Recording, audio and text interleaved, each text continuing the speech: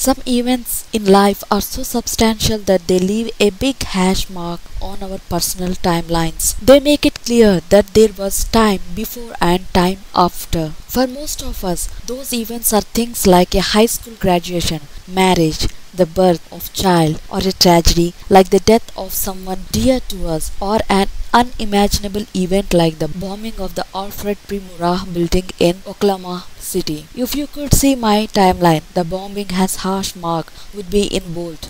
A clear division between feeling secure and understanding that terrible things really can happen, even to good people. Who would have imagined that Oklahoma would be a target for terrorism? My home state isn't huge or heavily populated unless you count the cattle. We don't have enough electoral votes to bother anyone and we are pretty well mannered. We still hold the door open for each other and pull over to the side of the road when a funeral procession passes to show our respect. But 17 years ago today, we learned that we too are vulnerable at 9 9 am. Life was normal. By 9 3 am, my world had forever changed. Since then, I have seen the Twin Tower fall. I have watched earthquakes shake entire countries, and I have witnessed a powerful tsunami. Miner pulled out from rebel and students running from gunmen. Sometimes I had liked to rub my eyes and start over. Go back to the time before my April 19th hash mark. But when I remember the strength and the godness I have seen in others who have chosen to be brave and compassionate in the most difficult of time, rescue workers flooded Oklahoma and worked around the clock, giving us all the possible good.